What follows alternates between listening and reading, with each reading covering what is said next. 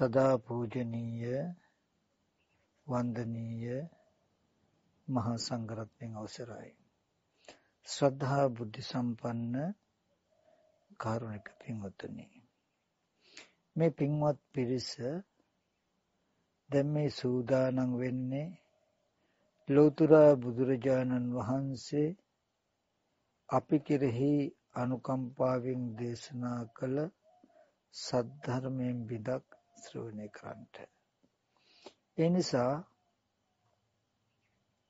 හැම දිනාම ඊ타මත් උවමනාවෙන් ඊ타මත් ඕනෑකමින් නොයෙක් නොයෙක් අරමුණු වල හිත විසිරෙන්නට නොදී මේ දේශනාව ශ්‍රවණය කරන්නට කියලා මුලින්ම මතක් කරනවා. පින්වතුනි අනන්ත සංසාර දිහා බලනකොට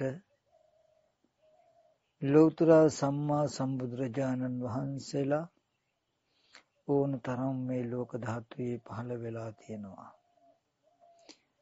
අනිත් ජීවිත පැත්තකින් තැබේවා හඟවා කියන අරුතක් තේරුම් ගන්නට පුළුවන් හැකියාවක් ඇති මිනිස්සු විලත් අපි ඕන තරම් ඉන්න ඇති. ඒත් ඒ එකම බුද්ධ ශාසනයක්වත් ආදරෙන් ඇසුරු නොකළ නිසා ආදරෙන් කන් යොමු කරලා සද්ධර්මයේ නාසපු නිසා තාම අපි සංසාරයේ මේ අත දුවන සැරිසර නැත්තු වෙලා. ඒ එකම බුද්ධ ශාසනයක්වත් ආදරෙන් ඇසුරු නොකළ බවට.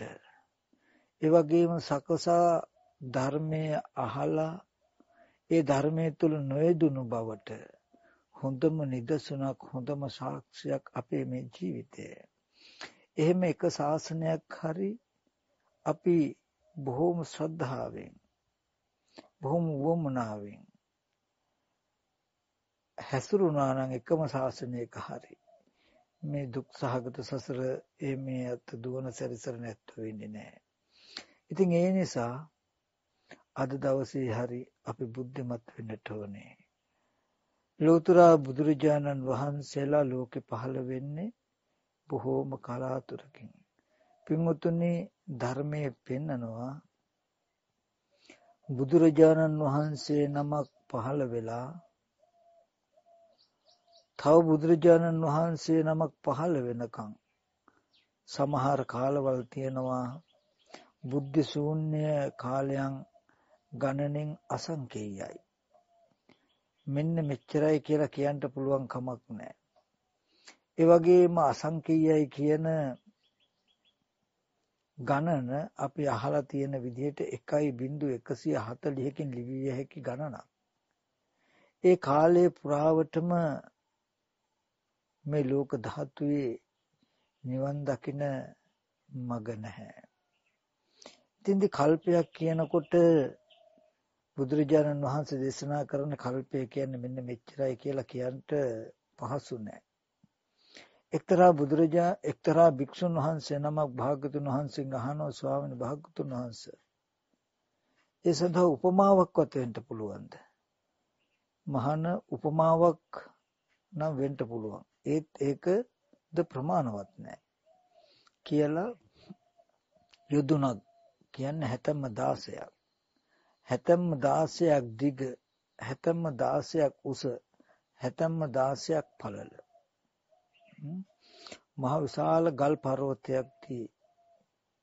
මිනිසෙක් මනුස්ස ලෝකේ මිනිස්යන්ගේ අවුරුදු වලින් අවුරුදු 100කට සැරයක් මේ ගල් පර්වතය රෙදි කඩකින් පිහිනවා. මෙහෙම පිහිනකොට යම් දවසක මේ විදිහට පිහලා පිහලා මේ ගල ගෙවිලා ගියත් කල්පය කියන එක ඉවර වෙන්නේ නැහැ. එතකොට පින්වතුනි බුදුරජාණන් වහන්සේ නමක් පහළ වෙලා මොන තව බුදුරජාණන් වහන්සේ නමක් නැතුව එක ගලක් ගෙවිලා ගියා මේ වගේ. ගල් දෙකක්, ගල් 10ක්, 20ක්, 30ක්, 40ක්, 50ක්, 100ක්, 1000ක්, 10000ක්, ලක්ෂයක් මේ විදිහට ගෙලිවිලා ගියා. ඒත් බුදුරජාණන් වහන්සේ නමක් නැහැ පහළ වෙලා. ආන් ඒ තරම් අතිශයම දුර්ලභයි මේ බුද්ධෝත්පාද කාලය. ඒත් අද දවසේදී භවයෙන් වැහිලා නිසා අපිට ඒක පේන්නේ නොපෙනෙන නිසා මේ අවුරුදු 50ක 60ක ජීවිතය අපි අසංකීයක අවශ්‍ය තියෙන ඇත්තෝ වගේ ගත කරන්නේ අපේ ජීවිතයට මෙන්න මේ කාලේ වෙනකන් අවශ්‍ය තියෙනවා මෙන්න මේ කාලේ වෙනකන් නිරෝගීකම තියෙනවා කියලා සහතිකයක් දෙන්න කෙනෙක් නැහැ. කොයි වෙලාවෙ මරණය සිද්ධ වෙනවද දන්නේ නොමර හිටියත් අවුරුදු 100ක් හෝ ඉති චුට්ටක් අඩු හෝ වැඩි වෙන්න පුළුවන්. පොඩ්ඩක් වැඩි වෙන්න පුළුවන්. මේ කාලය තුල තමයි අපිට යම් කිසි ජීවිතයට රැකවරණයක් හදාගන්න නම් හදාගන්න තියෙන්නේ. මේ අවස්ථාව වැරදුනොත් අපිව බේරගන්න වෙන කිසිම කෙනෙක් එන්නේ නැහැ කියන එකත් මතක් කරලා ඉමක් කුණක් පරක් තිරක් නැති මේ දීර්ඝ සංසාර ගමන මෙතනින් හෝ නිමා කරගන්න ඕනේ කියන අදහස් ඇතුව කලන සිත් ඇතුව හැම දිනාම මේ ධර්මය අවබෝධ කරගන්න උත්සාහවත් වෙන්න කියලත් කලන සිතින් මතක් කරනවා. පින්වතුනි අද මම මේ දේශනාව සඳහා මාතෘකා වශයෙන් ලැබුවේ භාගවත් බුදුරජාණන් වහන්සේ අපි කෙරෙහි අනුකම්පාවෙන් දේශනා කළ සද්ධර්මයේ ඒ ත්‍රිපිටක ධර්මයේ මජ්ක්‍ධිම නිකායේ පළවෙනි කාණ්ඩේන මදුපිණ්ඩික සූත්‍රය. මේ සූත්‍රය දේශනා කරන්නට මුල්ුණේ තථාගතයන් වහන්සේ ශාක්‍ය ජනපදයේ කිඹුල්වත් නුවර නීග්‍රෝධාරාමේ වැඩ ඉන්න කාලේ දවසක් උදෑසන පාසිවුරු හැඳ පෙරවගෙන කිඹුල්වත්පුරයට පින්ඩ පාත්තේ ගිහිල්ලා වැඩලා පසුබත් කාලේ ඒ ළඟ තියෙන මහා වනයේ විශාල බිලි ගහක් මුල දිවා විහරණය පිණිස වැඩ වාසය කරන වෙලාවේදී දණ්ඩපාණි නැමැති එක් ශාක්‍යයෙක් භාග්‍යතුන් වහන්සේ ළඟට ඇවිල්ලා ප්‍රශ්නයක් අහනවා. ඔබ කිනම් වාදියෙක්ද කියලා. ඒ වෙලාවේදී භාග්‍යතුන් වහන්සේ තමන් කුමන ආකාරයේ අදහසක් දරන කෙනෙක්ද කියන එක දෙවි මිනිසුන් සහිත ලෝකයේ තුල තමන් වහන්සේ කිබඳු කෙනෙක්ද කියන එක මතක් කරනවා මේ වෙලාවේදී මේ බමුණා නලල රැලි කළා දිවත් එළියට දාලා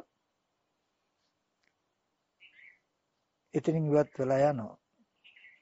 පස්සේ භාග්‍යතුන් වහන්සේ භික්ෂුන් වහන්සේලා රැස් වෙච්ච වෙලාවක මේ සිද්ධිය මතක් කරනවා. මතක් කළා යම් වෙලාවක පුරුෂයා තුල ප්‍රපංච සංඥා සංඛාරයෝ läග නොගනී නම් ඒකම රාගානුසී අවසානයේ පටිඝානුසී අවසානයේ මානානුසී අවසානයේ කියලා මතක් කළා කෙටියෙන් මතක් කරලා විහාරයට වඩිනවා. ඒ වෙලාවේදී භික්ෂුන් වහන්සේලා අතර කතාවක් ඇති වෙනවා භාග්‍යතුන් වහන්සේ යම් වෙලාවක ප්‍රපංච සංඥා සංකාරය පුරුෂයා තුල läග නොගනින මේ සියලු කෙලෙස්යන්ගේ දුකෙත් අවසාන මේකයි කියලා කෙටියෙන් මේ දහම් කරුණු මතක් කළා ඒක විස්තර වශයෙන් බෙදන්නේ නැතුව විහාරයට වැඩියා. භාග්‍යතුන් වහන්සේ කෙටියෙන් විස්තර කරලා විග්‍රහ කළ කෙටියෙන් විස්තර කළ මේ මාතෘකාව විස්තර වශයෙන් විග්‍රහ කළා අපිට තෝරලා දෙන්න කවුද සමත් වෙන්නේ කියලා කතාවක් ඇති වුණා. මේ අතර එක්තරා භික්ෂුන් වහන්සේ කොටසක් මතක් කළා මේ මහා කත්යායන මහරහතන් වහන්සේ දක්ෂයි වික්තයි පඬිතයි ධර්මදරයි කියලා හැමෝමත් කියනවා භාග්‍යතුන් වහන්සේත් බොහෝ කොට ප්‍රශංසා කළා තියෙනවා අපි මහා කත්යන ආමුදුරු ගාවට ගිහිල්ලා මේ ධර්මයේ අර්ථය අහගනිමුයි කියලා ඊට අනුව හැමෝම ඊට සම්මත වෙලා එකඟ වෙලා මහා කශ්‍යප මහරහතන් වහන්සේ ළඟට ගිහිල්ලා සිදුවුම් සියල්ල මතක් කරනවා. ඒ වෙලාවේදී මහා කශ්‍යප මහරහතන් වහන්සේ ප්‍රකාශ කරනවා එවත්නි සියල්ල දන්නා වූ දක්නා වූ භාග්‍යතුන් වහන්සේ ඉද්දි භාග්‍යතුන් වහන්සේ හමුවේදී මේ කාරණාව අහලා දැනගන්න නැතුව මංගාවට ආවේ හරියට හර හොයන පුද්ගලයෙක් අරටුව තියෙන ගහක් ළඟට ඇවිල්ලා කොලාතු ගෙනියන්න හදනවා වගේ. ඒ නිසා මේක භාග්‍යතුන් වහන්සේගෙන්ම තමයි අහගන්න සුදුසු. භික්ෂුන් වහන්සේලා කියනවා ඒක හැමෝයි භාග්‍යතුන් වහන්සේ සියල්ල දන්නාසේක දක්නාසේක ධර්ම ස්වාමී වෙනසේක. එතක දුවත් භාග්‍යතුන් වහන්සේ පවා වර්ණනා කළා තියෙනවා මහා කත්යන ධර්ම දක්ෂයි වික්තයි පඬිතයි කියලා අනේ අපිට බරක් වශයෙන් නොගෙන මේ ධර්මයේ අර්ථය පහදලා දෙන්නයි කියලා මතක් කළා. ඒ වෙලාවේදී හොඳයි. එහෙනම් මට තේරෙන විදිහට මම මේ ධර්මයේ අර්ථය පැහැදිලි කරලා දෙන්න. හොඳට අහන්න.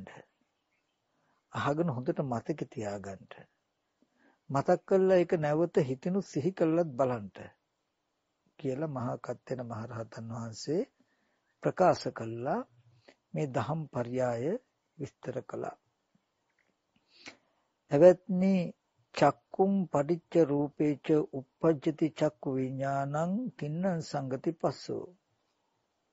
පස්ස පච්ච වේදනා යං වේදේති තං සංජානාති යං සංජානාති තං විතක්කේති යම් විතක්කේති තම් පපංචේති. යම් පපංචේති තතෝ නිදානං පපංච සංඥා සංකා සමුදාචරಂತಿ අතීත අනාගත පච්චුප්පන්නේසු චක්කු විඤ්ඤේයේසු රූපේසු. ඇවත්නි ඇහත් රූපියත් නිසා චක්කු විඤ්ඤාණය උපදිනවා. තුන්දනාගේ එකතු චක්කු සම්පස්සයයි චක්කු සම් චක්කු සම්පස්සය නිසා අරමුණු විඳිනවා. පසපච්චය වේදනා. යම් වේදේති සංසංජානති යම් අරමුණක් විඳී නම් ඒ විඳින අරමුණ විඳින රූපය හඳුනනවා. යම් සංජානාති තම් විතක්කේති.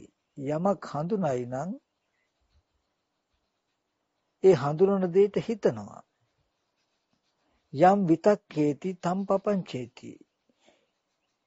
යමක් හිතයි නම් ඒකම ප්‍රපංච වෙනවා. ඒකම යම් විතක්කේති තම්පපංචේති යමක් විතර්කණය කළයි නම් ඒක ප්‍රපංච වෙනවා. යම් පපංචේති යමක් ප්‍රපංච නම් තතෝ නිදානම් පුරුෂෝ. එය මුල් කාරණාව කරගෙන එය නිදාන කරගෙන ප්‍රපංච සංඥා සංකා සමුදාචරಂತಿ පුරුෂයා පුද්ගලයා මොකද කරන්නේ ඒ ප්‍රපංච සංඥා සංකාරයන් අනුවම හැසිරෙනවා අතීත අනාගත වර්තමාන කියන තුන් කාලෙම්ම ඇසින් බලා දත යුතු රූප කෙරෙහි. ඒ ඇසින් බලා දත යුතු රූපය කෙරෙහි ප්‍රපංච සංඥා සංකාරයන්ගෙන්ම හැසිරෙනවා. ඒ වගේම සෝතම් පටිච්ච සද්දේච උපජ්ජති සෝත විඥානං තින්නං සංගති පස්සෝ පස්සපච්චා වේදනා යම් වේදේති සංසංජානාති. කන ශබ්දයක් නිසා සෝත විඥානේ උපදිනවා. තුන්දෙනාගේ එකතුව සෝත සම්පස්සය. යමක් ස්පර්ශ වෙයි නම් ඒ විඳිනවා. යමක් විඳිනම් ඒ හඳුනනවා. යම් ශබ්දයක් හඳුනයිද විඳපු යම් ශබ්දයක් හඳුනයිද තම් විතක්කේති. ඒට විතර්කණය කරනවා හිතනවා. යම් විතක්කේති තම් පపంచති යමක් විතර්කණය කරයිද එය තමාට ප්‍රපංච පිණිස ප්‍රමාද පිණිස පවතිනවා.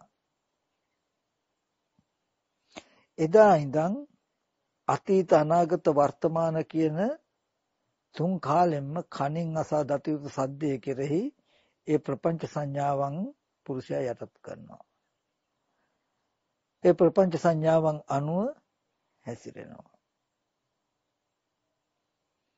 ඒ විදිහටම නාසය දිවට ශරීරයට මනසට කියන ආයතන හයටම මේ විදිහට පෙන්වා වදාලා. අපි මේ ගැන පොඩ්ඩක් හොඳට විස්තර කරලා බලමු. මම මේිට පෙර දේශනා කළ පටිච්ච සමුපාදා පාදය ආදී ධර්මයන්ගෙන්ද මතක් කළේ මෙන්න මේ කාරණා ටිකමයි. චක්කුම් පටිච්ච රූපේච uppajjati චක්කු විඥානං තින්නං සංගති පස්සෝ පස්සපච්චා වේදනා යං වේදේති තං සංජානාති කියන ටික. ගත්තොත් පින්වතුනි මෙන්න මේ ටිකේ ඇසත් රූපයක් දෙක නිසා චක්කු විඥානය උපදිනවා. තුන් දෙනාගේ එකතු චක්කු සම්පස්සයයි. ඒ ස්පර්ශ වෙච්ච අරමුණ විඳිනවා විඳපු රූපය හඳුනනවා. ඔන්න දැන් අපි යම් වේදනාවක් ආපු රූපය දැන් හඳුනනවා. කියනකොට පින්වතුනි හැඩ සටහන වර්ණ සටහන හඳුනන කමම පෙනෙන කමම පමණයි. මේ ටික තුල තියෙන්නේ විපාක මාත්‍රයක් මේ පෙනෙන ඇහැ රූප චක්කු විඥානය තුන්දෙනාගේ එකතු චක්කු සම්පස්සේ ස්පර්ශය වෙච්ච අරමුණ විඳිනවා විඳින අරමුණ හඳුනනවා කියන ටික ගත්තාම පෙනීම මාත්‍රයක් මේ තුල රාගය, ద్వේෂය, මෝහය කියන අකුසල ධර්ම නැහැ. අලෝභය, අද්වේෂය, අමෝහය කියන කුසල ධර්ම නැහැ. ඒ වගේම විචිකිච්ඡානුසය, දිට්ඨානුසය, කාමරාගානුසය, පටිඝානුසය, මානානුසය, අවිජ්ජානුසය, භවරාගානුසය කියන සප්තානුසය නැහැ. මේ තුල පෙනීම මාත්‍රයක් විතරයි තියෙන්නේ. ඒ ඇස් ඉදිරි පිටට එන රූපය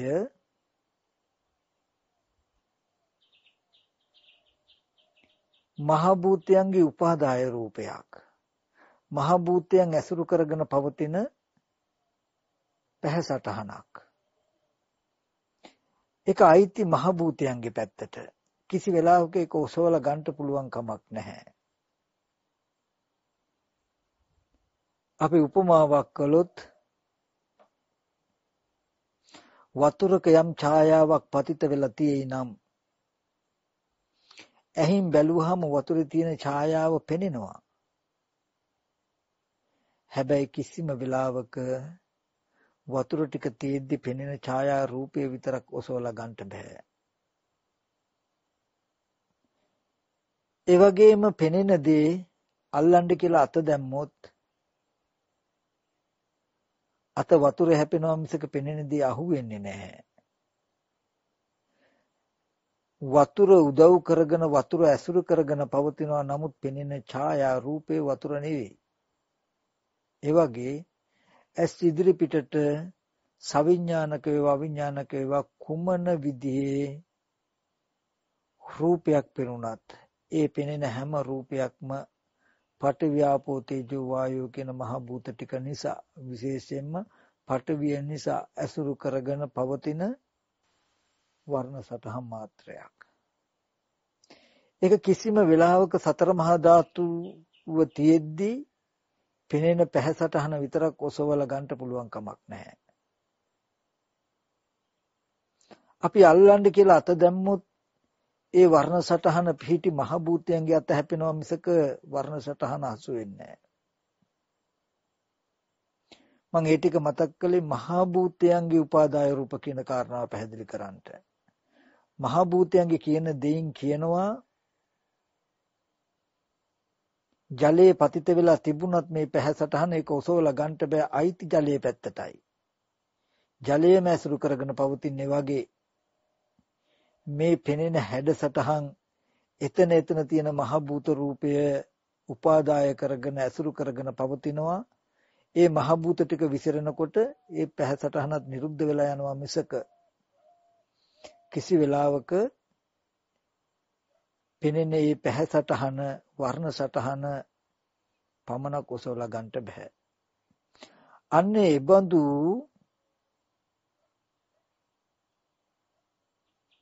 අරමුණු මාත්‍රයක් තමයි යං වේදේති තං සංජානාති කියන තැනට එනකන් තිබුණේ.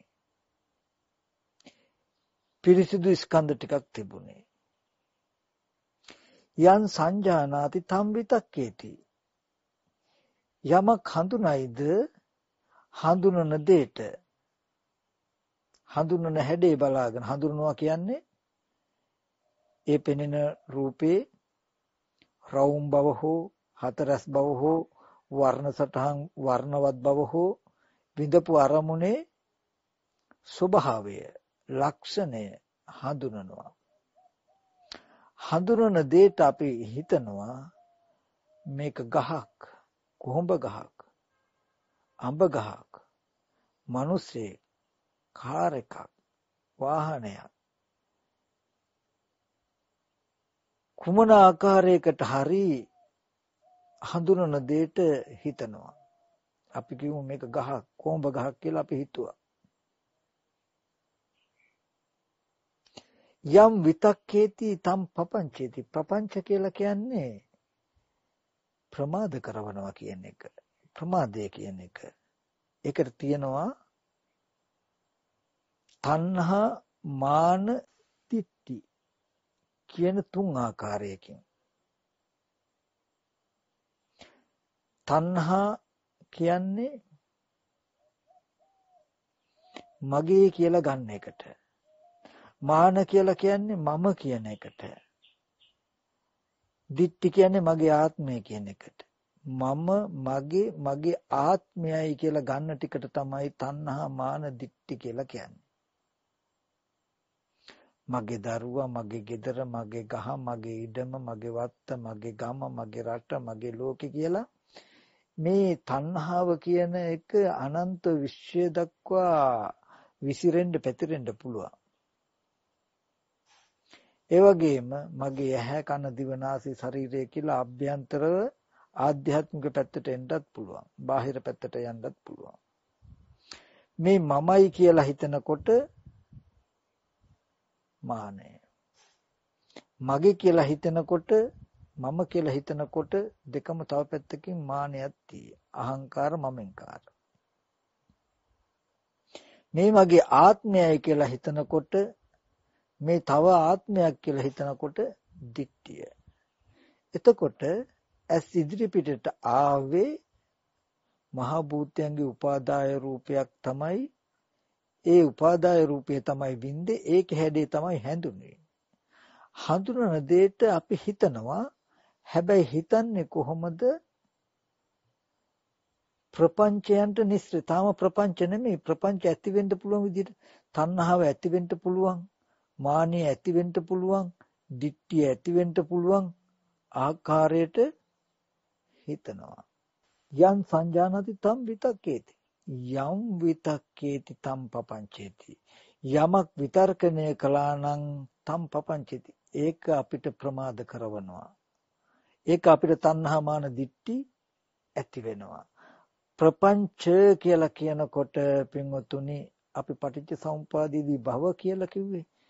ඒ කියන්නේ ආන් ඒ වගේ මට්ටම. ඒ කියන්නේ තණ්හා වශයෙන් මාන වශයෙන් ditthi වශයෙන් කෙලෙස්යන්ගෙන් යුක්ත මනෝ විඥාන මට්ටමක් ඇති වෙලා. ඇස් ඉදිරි පිටට ආපු රූපය තින්න සංගති පස්සෝ පස්සපච්චය වේදනා යම් වේදිති තං සංජානාති. ඔන්න වර්ණ සටහනක් ආව ඒක හැඩේ හැඳුනුවා. තණ්හාව ඇති වෙන විදිහට මානිය ඇති වෙන විදිහට ditthi ඇති වෙන විදිහට තමයි හිතන්නේ. යං චේතේති. යන් සංජානති තම් විතක්කේති. ඒට හිතනවා. යම් විතක්කේති තම් පපංචේති කියලා කියන්නේ යමක් විතර්කණය කළා නම් ඒක ප්‍රපංච වෙනවා. දැන් අපි දැනගන්නේ කොහොමද? ඉදිරියෙන් ආපු වස්තුව කෙනෙක් කියලා ඉදිරියෙන් ආපු වස්තුව මගේ කියලා මම කියලා මගේ ආත්මය කියලා පුද්ගලයෙක් කියලා.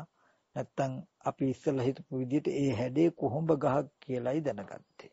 යම් විතක්කේති තම්ප පංචේති යම් පංචේති යමක් ප්‍රපංච වුණා නම් අන්න දැන් ප්‍රපංචයක් හැදුනා නම් ඒ ප්‍රපංචයේ මුල් කාරණාව කරගෙන අතීත අනාගත වර්තමාන කියන තුන් කාලෙම පුද්ගලයව යට කරනවා.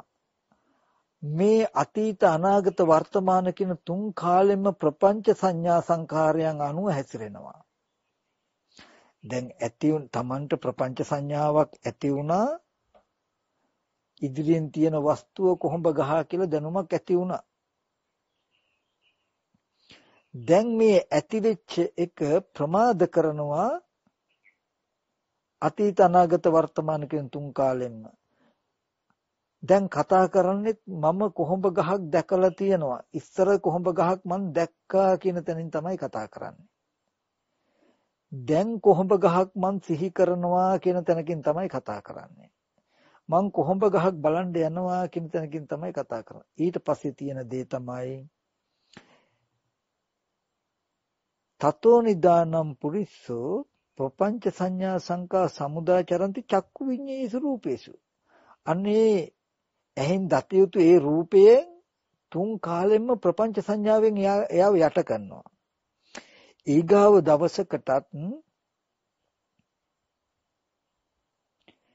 ඇහැට රූපයේ ගැටිලා චක්කු විඥානය ඉපදිලා අරමුණ විදලා හඳුනනකොටම මේ හැඳිනීම එනකොටම අන්න ප්‍රපංච සංඥාව ඉදිරිපත් වෙනවා. ශනිකවම සිහි කරගන්නවා කොහොඹ කියලා. එතකොට හිතන්නේ කොහොඹ ගහ දැකපු හින්දා කොහොඹ කියලා හිතුණා කියලා. මුලින්ම සැරේ ප්‍රපංච සංඥාව ඇති කරගත්තා.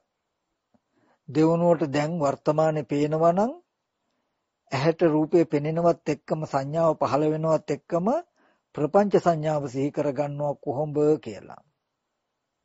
අනාගතයටත් එහෙමයි කොයි වෙලාවක හෝ ඇස් ඉදිරි පිටට මේ රූප සංඥාව පහළ වෙනකොට යම් වේදේති තං සංජානාති කියලා මේ හඳුනන මේ හැඩය පැමිණෙනකොටම මොකද වෙන්නේ? මේ ප්‍රපංච සංඥාවම ඉදිරිපත් කරගන්නවා ඉදිරිපත් වෙනවා කොහොඹ ගහ කියලා. දැන් අතීත අනාගත වර්තමාන කියන තුන් කාලෙම මේ ප්‍රපංච සංඥාවන් අනුවම අපි කටයුතු කරනවා අනුවම ගමන් කරනවා. කොහොඹ ගහක් දැක්ක කොහොඹ ගහක් දැන් සිහි කරන්න පුළුවන් කොහොඹ ගහ බලන්න පුළුවන් කොහොඹ ගහ පේන්නේ කියලා. ඔය විදිහටමයි සවිඥානික අරමුණක් ඇත්තටම රූපවල යම් වේදේති සංජානාති කියන තැනට එනකොට සවිඥානික අවිඥානික වෙනසක් නැහැ ඒ වර්ණ සටහනේ. අවිඥානික වස්තුවක හැඩ සටහනක් පෙනෙන එකත් අපි සවිඥානිකයි ආත්මයක් ආත්මනීයයි කියලා හිතාගෙන ඉන්න වස්තුවක රූපයක හැඩ සටහනක් පෙනෙන එකත් අතර වෙනසක් නැහැ සමානයි. එබඳු රූපයක් ඇහැට ගැටිලා චක්කු විඥාන ඊට අනුගතව ඉපදිලා ඒ අරමුණ විඳිනවා විඳින අරමුණ හඳුනනවා. හඳුනනකොට දිට්ඨිය ඇති වෙන විදිහට පුද්ගල භාවය ඇති වෙන විදිහට මේ කෙනෙක් සත්වයක් කියලා අපි හිතනවා. යම් සංජානාති තම් විතක්කේති. යම් විතක්කේති තම් පපංචේති. පපංචේති කියනකොට විඥාන මට්ටම දැනගන්නවා කියන එක. නාම රූපච්ඡ විඥාන කියන පරයයන් පෙන්වන්නේ භවපච්ච උපාදාන පච්ච භව කියන පරයයන් පෙන්වන්නේ. එතකොට ඒ වගේ ප්‍රපංච ඇති වුණා කියලා කියනකොට වැරදි සහගත දැනගැනිල්ලක් ඇති වෙලා. ඒ කියන්නේ ඉදිරියෙන් පෙනෙන රූපයේ වර්ණ සටහන ඒකට අපි විතර්කනේ යන් සංජානති තම් විතක්කේති ඒ හඳුනපු දෙයට අපි හිතුවා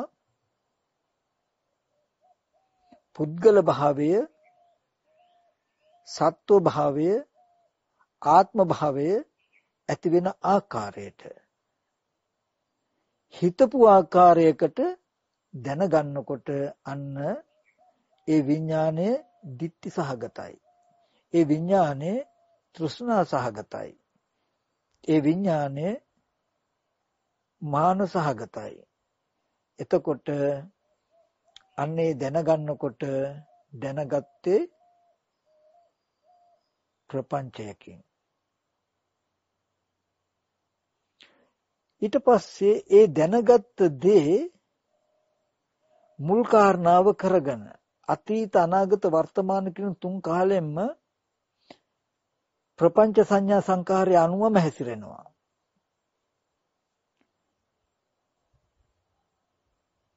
දෙවනුවටත් වර්ණ සටහනක් ඇස් ඉදිරිපිටට එනකොට ඒ රූපය එනකොට මේ අර කෙනා මේ අර පුද්ගලයා කියලා අර ප්‍රපංච සංඥාවම සිහි වෙනවා.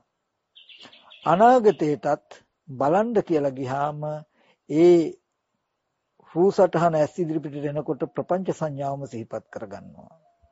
මම අහවල් පුද්ගලයා දැක්කා. අහවල් පුද්ගලයාව බලන්න පුළුවන් සිහි කරන්න පුළුවන් දැන් මට අනාගතයට ගිහිල්ලා දකින්න පුළුවන් කියලා අතීත අනාගත වර්තමාන කියන තුන් කාලෙම මේ ප්‍රපංච සංඛාරය අනුව ප්‍රපංච සංඥා සංකාර අනුව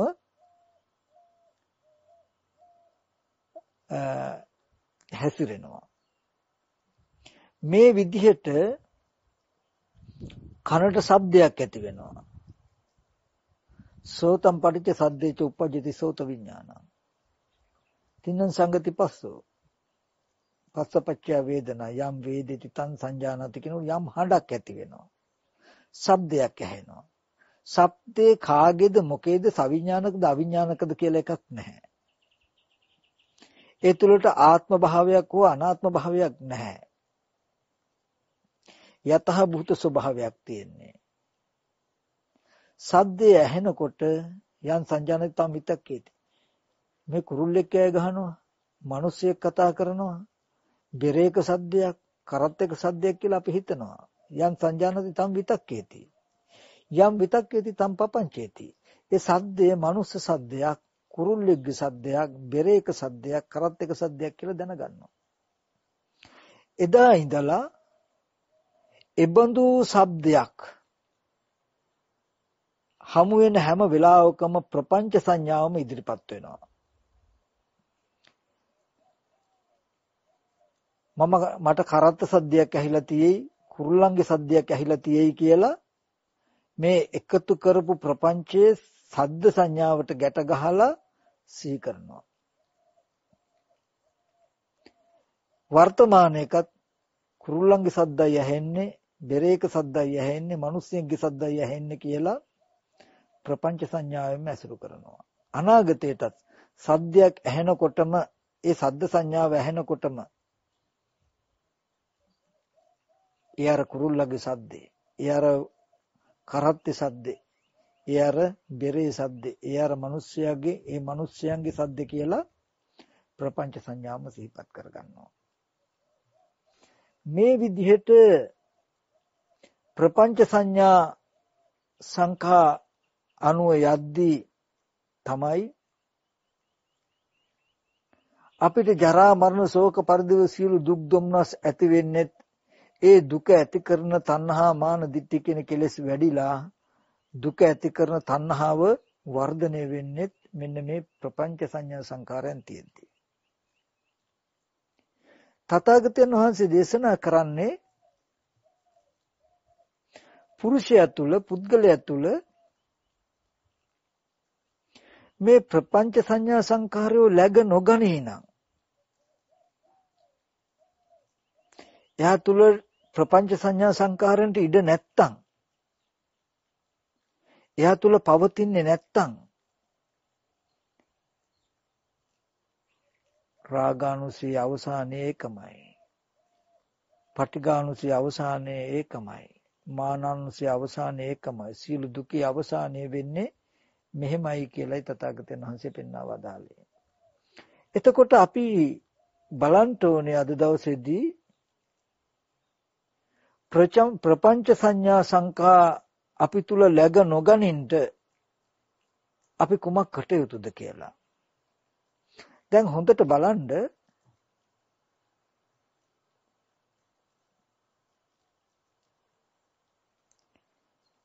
චක්කු සෝත ගාන ජීවා කාය මන කියන ආයතන හය හරහා යම් වේදේති තං සංජානාති කියන තැන කිසිම ද්‍රව්‍යයක් තිබුණේ කාරණාවක් තිබුණේ යතහර්ථයේ සවිඥානික අවිඥානික බවක් තිබුණේ වටිනා නොවටිනාකමක් තිබුණේ හොඳක් හෝ නරකක් තිබුණේ හැබැයි එබඳු අරමුණු ආරම්භයා යන් සංජානාති තම් විතක්කේති හොඳයි කියන එක ඇති වෙන විදිහට නරක කියන එක ඇති වෙන විදිහට පුද්ගල භාවය ඇති වෙන විදිහට ආත්ම භාවය ඇති වෙන විදිහට අපි හිතුවහම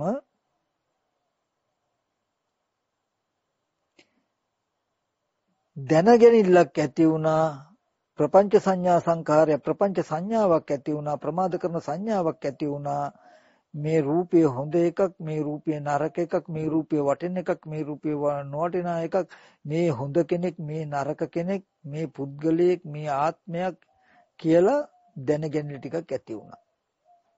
දැන් අද දවසේදී බාහිර ආයතන 6 පැත්තේ පුද්ගලයෝ ඇති බවට සත්වයෝ ඇති බවට කැමැති අය ඇති බවට අකමැති අය ඇති බවට හොඳ අය ඇති බවට නරක අය ඇති බවට හොඳ දේවල් ඇති බවට නරක දේවල් ඇති බවට තොර තෝංචයක් නැතුව අපි උදේ ඉඳන් රෑ දවල් හිත හිත ඒව එක ඇලෙමින් ගැටෙමින් සතුටු වෙමින් දුක් වෙමින් කටයුතු කරනවා කියලා කියන්නේ ප්‍රපංච සංඥා සංකාරයන් අනුව හැසිරෙනවා කියන එකයි.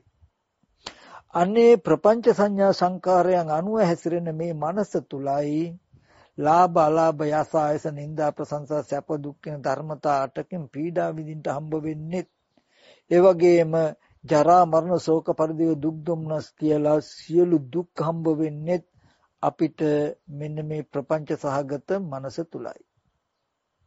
අපි අද සිහි කරගන්න පුළුවන් පුද්ගලයෝ සිහි කරගෙන ඒ සිහි කරගත්ත පුද්ගලයෝ නිසා සැප විඳිමින් දුක් විඳිමින් කැමැත්ත ඇති කරගනිමින් අකමැත්ත ඇති කරගනිමින් කටයුතු කරන්නේ මේ ප්‍රපංච සංඥා සංකාරයන් අනුව හැසිරෙන නිසායි. එතකොට ප්‍රපංච සංඥා සංකාරයන් අනුව හැසිරෙනවා කියලා කියන්නේ දුකද විඳිමින් නැවත දුකටද යන හේතු ටිකක් රැස් කරගන්නවා කියන කාරණාව ඕකට තව කෙටි කළා කැටි කළා ගත්තොත් ඕකට තමයි ලෝකය කියලා කියන්නේ. ලෝකය කියලා කියන්නේ ඒකට. එතකොට ප්‍රපංච සංඥා සංකා තමා තුල läග නොගනී නම් läග නොගනින්ට හේතුව මොකක්ද? එයා අතීත අනාගත වර්තමාන යන තුන් කාලෙම ප්‍රපංච සංඥාවෙන් තමන්ගේ මනස යට කරන්න දෙන්නේ නැහැ. ප්‍රපංච සංඥාව තමන් තුල ඇතිවෙච්ච ආකාරය දකින්නවා පෙන්නනවා. තව පැත්තකින් මම ඇඟවීමක් කොළු පංච උපාදානස්කන්ධي උදේවැය බලනවා කියලා කියන්නේත් ඕකම. ඔබට ඔය ප්‍රපංච සංඥා සංකා අනුව හැසිරෙනවා කියන මනසට තමයි පංච උපාදාන ස්කන්ධය පරිහරණය කරනවා කියන්නේ. දුව පුතා අම්මා තාත්තා ගෙවල් රන් රෙදි මුතු මැණික් සිහි කර කර ඒවා හොඳ නරක විමර්ශනය කර කර ඒවා ගණන් බල බල ඉන්න මානසික මට්ටමට තමයි පංච උපාදාන ස්කන්ධයක හැසිරෙනවා කියලා කියන්නේ. ඒක තුල තමයි දුක ඇති වෙන්නේ. එතකොට මෙන්න මේ ප්‍රපංච සංඥා සංඛාරයන් ඇති උනේ කොහොමද කියන එක බලනවා කියන එක තමයි පංච උපාදාන ස්කන්ධයේ උදේ බලනවා කියලා කියන්නේ. ප්‍රපංච සංඥා සංඛාරයන් නැති වෙන්නේ කොහොමද කියලා බලනවා කියන එක තමයි මේ පංච උපාදාන ස්කන්ධේ ව්‍යයානෝ බලනවා කියලා කියන්නේ. තා පැත්තකින්. දැන් අපි බලමු ප්‍රපංච සංඥා සංඛාරයන්. ප්‍රපංච සංඥා සංඥාවන් අනුව හැසිරෙන්නේ නැතුව ප්‍රපංච සංඥා සංඛාරයන් තමන් තුල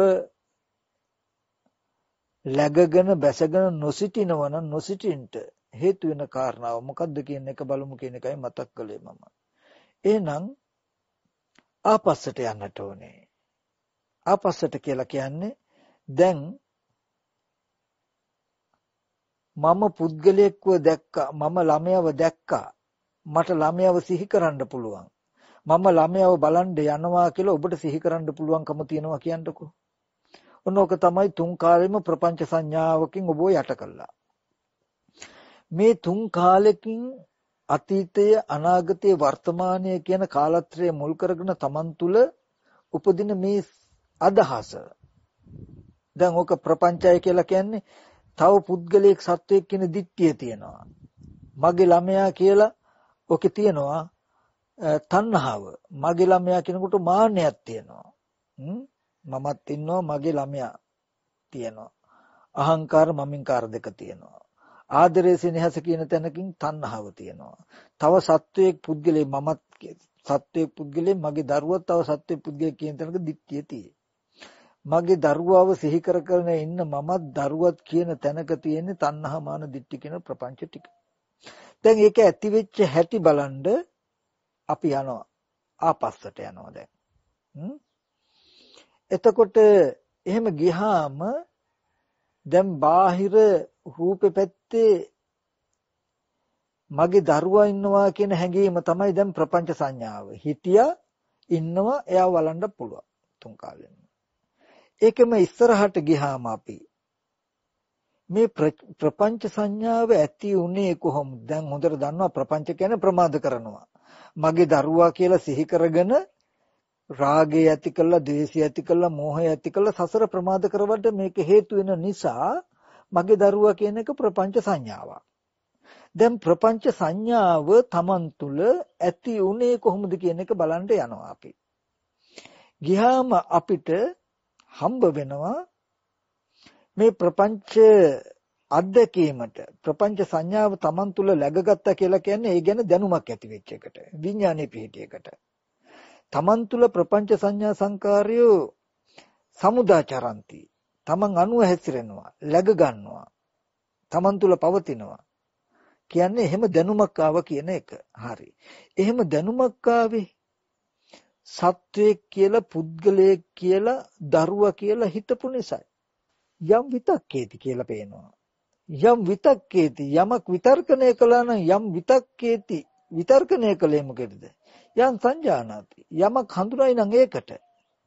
මොකද්ද හැඳුනේ යමක් විඳීද ඒක හැඳුනුවා. මොකද්ද විඳේ චක්කු සම්පස්සේ. චක්කු සම්පස්සෙට හේතුනේ මොකද්ද? ඇහැයි රූපයයි. මොකද්ද රූපය? ඇහැ මහ භූතයන්ගේ උපාදාය රූපයක්. ඇහැට පෙනුනේ මහ භූතයන්ගේ උපාදාය වූ වර්ණ සටහනක්. අන්න වර්ණ සටහනක් තමයි එහෙනම් විඳලා තියෙන්නේ. ඒක තමයි හඳුනලා තියෙන්නේ. ඒ හඳුනපු එකට තමයි මගේ දරුවා කියලා හිතලා තියෙන්නේ. ඒ හිතපු නිසා ඒ සටහන මගේ දරුවා කියන දැනගැනිල්ල ඇති වෙලා. අනේ අතීතයේදීත් වර්ණ සටහන පැත්තේ නම් මගේ දරුවා කියලා කෙනෙක් හෝ පුද්ගලයෙක් හෝ ඒබඳු ස්කන්ධයක් රූපයක් තිබිලා නැහැ. ඇස් ඉදිරි පිටට ආපු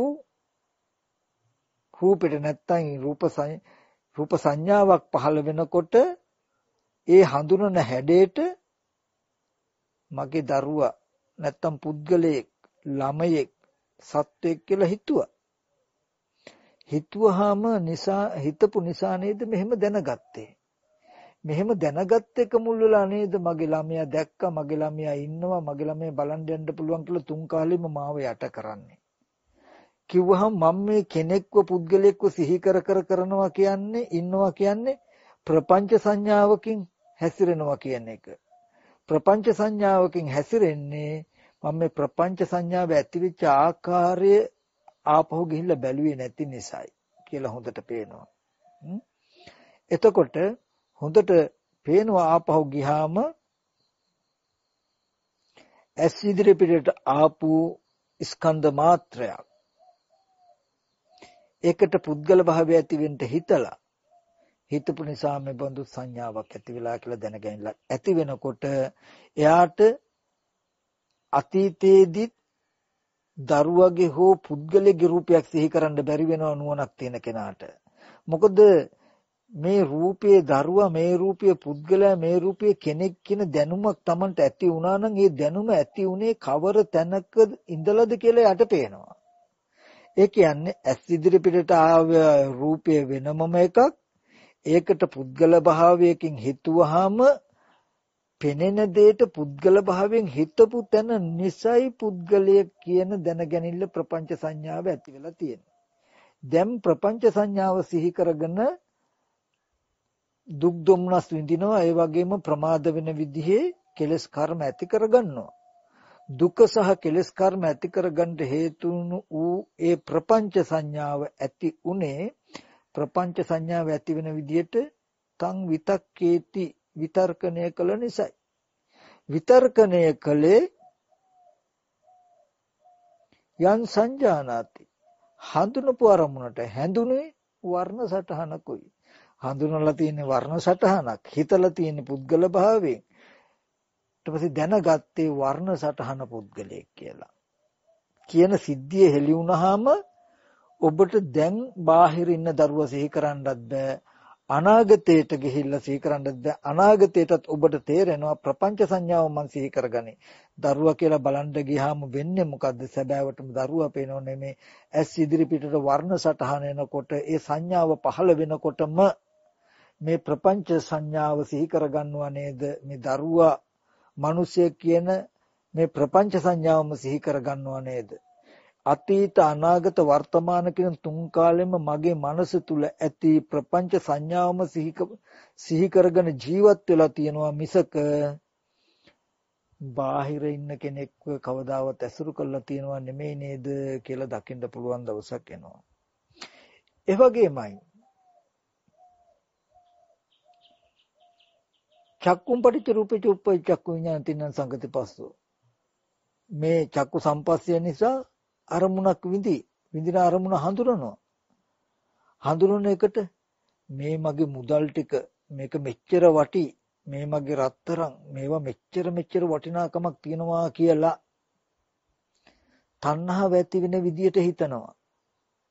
තණ්හාව ඇති වෙන විදිහට හිතනකොට මේ අරමුණේ විඥානයේ පිහිටනවා ප්‍රපංච සංඥාව පිහිටනවා මේ රත්තරන් මේවා මෙච්චර වටිනවා මේවා සල්ලි මේවා මෙච්චර වටිනවා කියලා දැනගැනින්නක් තියෙයි. ඊට පස්සේ මට මෙච්චර සල්ලි තියේ මෙච්චර රත්තරන් තියේ කියලා හිතින් හිතන්න පුළුවන්. ඒ වගේම අතීතේ මට මෙච්චර තිබුණා දැන් මෙච්චර තියනවා කියලා අපි ඒ අනුවම හිතනවා. හිත හිතා ප්‍රපංච සංඥාවකින්ම සතුට වෙනවා. අපි එහෙම හිතන කොටත් බාහිර ආයතන ටික ශුන්‍යයි. මේ විදිහට රූප සංඥාවට තණ්හාව මානෙ දිට්ඨිය ඇති වෙන විදියට හිතලා රූපේ ආරම්භය තණ්හා මාන දිට්ඨිය ඇති කරගන්නවා ප්‍රපංච ඇති වුණා කියන්නේ විඥාන මට්ටම ඇති කරගත්තා. ශබ්දයක් අහනවා ශබ්ද රූපයට තණ්හා මාන දිට්ඨිය ඇති වෙන විදියට හිතනවා දැනගන්නවා කියන්නේ ඇති වුණා. නාසයේ ගන්ධයේ දිව ශරීරය කියන මේ ආයතන ටිකටත් අරමුණු හම්බ වෙනකොට තණ්හාව ඇති වෙන විදිහට මම හෝ මගේ හෝ කියලා මානය ඇති වෙන විදිහට තව සත්වයක් පුද්ගලයෙක් ආත්මයක් කියලා දිට්ඨිය ඇති වෙන විදිහට හිතුවහම ඔබේ මනස තුල නිතතිම ලෝකයක් ගොඩ නැගිලා ඇති ලෝකය කියන්නේ වෙන මොකුත් නෙමෙයි. ප්‍රපංච සංඥාව ගොඩාක් Taman තුල ගොඩ ගැහිලා ඇති. බාහිර ස්පර්ශ ආයතන හය පැත්තේ බොහෝම වටිනා කැමැත්ත ඇති කරගන්න පුළුවන් දේවල් තිබුණා. ඒ වගේම මගේ සහ මම සහ මගේ අය හිටියා ඉන්නවා. ඒ වගේම තව සත්වය පුද්ගලයෝ ඉන්නවා කියන හැඟුම හැඟීමක් දැනීමක් ඔබට ඇති වෙලා ඇති. ඒකට තමයි ලෝකේ කියලා කිව්වේ. දැන් ලෝකය කියන එකට තුන් කාලයක් තියෙයි. අතීතෙත් හිටිය දැනුත් ඉන්නවා අනාගතයටත් ඉඳී. මේ විදිහට අතීත අනාගත වර්තමාන කියන මේ තුන් කාලෙම අපිව යටකරන්න පුළුවන්කම තියෙන්නේ මේ ප්‍රපංච සංඥාවන්ගේ ඇතිවීම වගේම නැතිවීම අනුව යන්නේ නැත්තම් සමුදය ධම්මානුපස්සීවා වය ධම්මානුපස්සීවා කියලා කියන්නේ ඇතිවීම ස්වභාවය හෝ අනුව බලන්න. නැතිවීම ස්වභාවය හෝ අනුව බලන්න. මේ ඔබට ප්‍රපංච මනසක් ඇති වෙච්ච හැටි හෝ බලන්න ඒත් ප්‍රශ්නේ ලෙහෙනවා. නැති වෙන හැටි හෝ බලන්න. ඒ කියන්නේ මට සත්වය පුද්ගලයෝ ඉන්නවා කියලා සිහි කරන්න පුළුවන් වටිනාකමට සිහි කරන්න පුළුවන් මානෙ මම මගේ කියලා මානෙ ඇති වෙන විදිහට සිහි කරන්න පුළුවන් තව සත්වය පුද්ගලයෝ කියලා ditthිය ඇති වෙන විදිහට සිහි කරන්න පුළුවන් මේ විදිහට සිහි කරන්න පුළුවන්කම ඇති උනේ අරමුණු වලට ඒ විදිහට හිතපු නිසා අරමුණු වලට හිතුවේ ඒ අරමුණු වල ඇත්ත නොදක්ක නිසා නේද කියලා බලනකොටත් ඔබට මේ ස්පර්ශ ආයතන හයේ ශුන්‍යතාවය નિરાයාසයෙන්ම පෙනේ. යම් වෙලාවක ප්‍රපංච සංඥාව තමන් තුලම උපදවාගෙන තමන් තුලම පැවතිලා තියෙනවා ඒක මේ ස්පර්ශ ආයතන හය තුල මොන විදිහටවත් තිබුණෙත් නෑ තියෙනවත් නෙමෙයි තියෙන්නේද නෑ කියලා යම් දවසක දැක්කොත් අන්නේ ඔබේ දැකීම ඍජුයි නිවැරදි. ඒකද කියන සම්මාදිට්ඨිය කියලා. යම් වෙලාවක ඔබට මේ ප්‍රපංච සංඥා සංකාරය සහ මුලින්ම මේ ඇත්ත දැකලා බාහිර ආයතන ටිකේ වටිනාකමටවත් පුද්ගල භාවයටවත් මාන්නයටවත් තියෙන කිසිවක් ඔබ දකින්න නැත්තම් තමන් තුල ඒ අරමුණු දකිනකොට ඒ ගතිය සිහි වෙන්නෙත් නැත්තම් අන්න ඒකට කියනවා ප්‍රපංච සංඥා සංකාවෝ läග නොගනිනවා කියලා. තමන් තුල läග නොගන්නවා කියලා. läග නොගන්න නම් ප්‍රපංච සංඥා සංකාරය ඇති වෙච්ච ආකාරය පෙන්වන්න. නැති වෙන ආකාරයක් පෙන්වන්න. මේ වර්ණ සටහනට පුද්ගල භාවය ඇති වෙන සත්ව භාවය ඇති වෙන මානෙ ඇති වෙන විදිහට හිතුවේ නැත්තම් ඒ අරමුණු පුද්ගලයෙක් සත්වයේ කෙනෙක් මගේ කියලා දැනගැනින්නක් ඇති වෙන්නේ නේද කියලා බලන්න. මෙන්න මේ විදිහට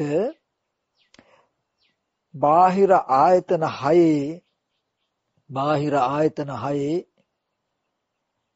සත්‍ය පුද්ගලය ආත්මීය වූ දේවල් තියෙනවා කියලා ඔබට දැනෙන ප්‍රපංච සංඥාව ඇති වෙච්ච හැටි හා ඒක නැති වෙන හැටි හොඳට බලන්න. ඒ බලන එකට උපකාර පිණිස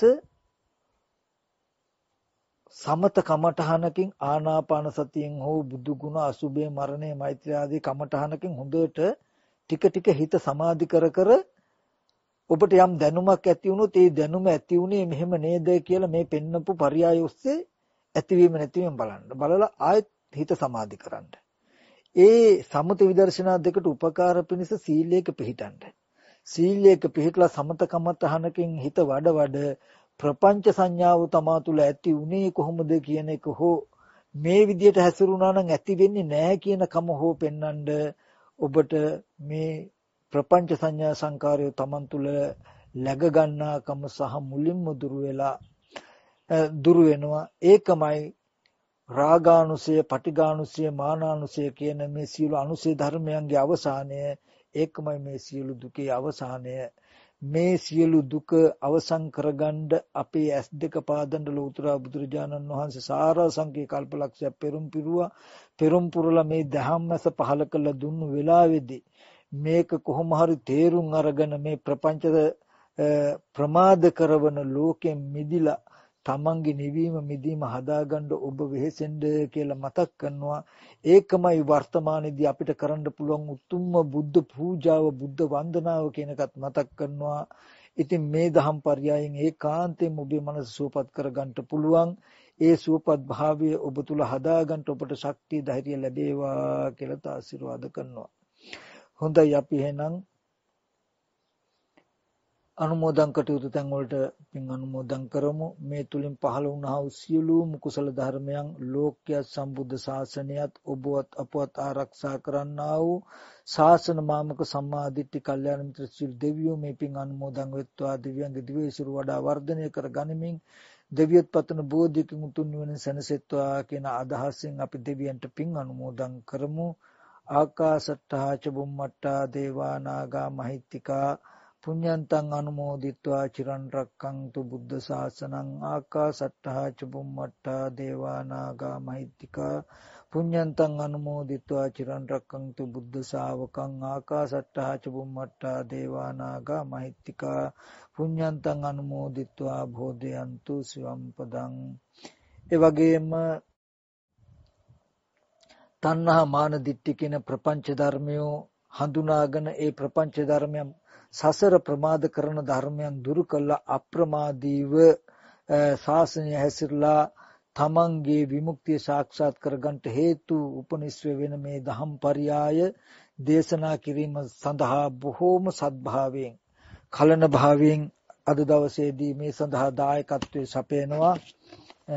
ඒ වගේම අප සිළු දිනාගේම නමින් නැසී ගිය මේ ධර්ම ශ්‍රවණය කරන්නව සිළු දිනාගේ නමින් නැසී ගිය සියලු ඥාති මිත්‍රාදීන් සිහිපත් කරනවා.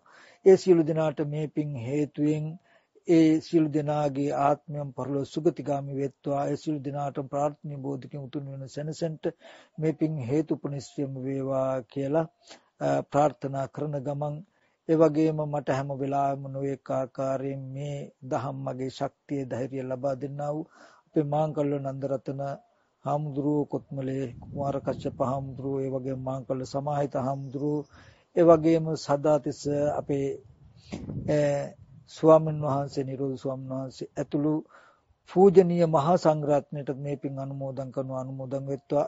හැම දිනාටම තෙරුවන් සරණයි.